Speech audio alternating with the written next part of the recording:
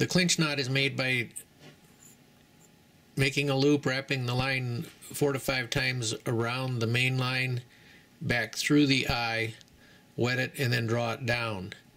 The improved clinch knot is made through the same process, only you come through the eye and then back through the loop that's created over the top of your wrap.